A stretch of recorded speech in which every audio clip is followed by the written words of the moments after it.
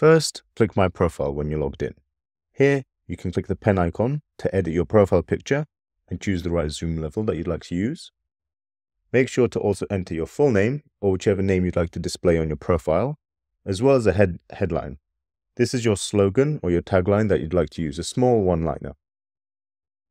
Once you've done that, you can edit your cover image, which will appear at the top of your profile. And then you can add your socials. These appear as small bubbles just, be just below your headline and can include things like your Facebook, your Instagram, your LinkedIn, YouTube, and other links.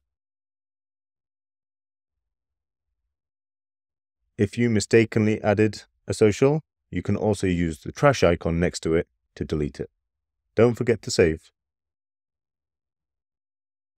Optionally, you can also add text blocks to write a short bio about yourself or copy it over from one you've already prepared.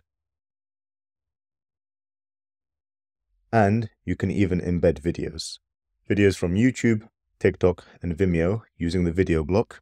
Just copy and paste the link, and you'll be able to show it on your profile page.